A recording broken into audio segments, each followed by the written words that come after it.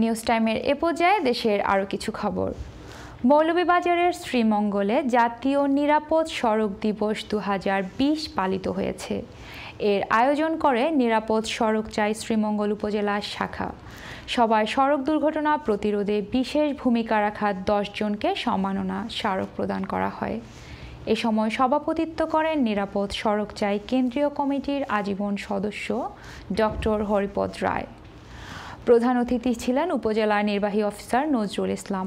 এছাড়া উপস্থিত ছিলেন উপজেলা পর্যায়ের বিভিন্ন কর্মকর্তা, পুলিশ প্রশাসন, সাংবাদিক এবং আরও অনেকে।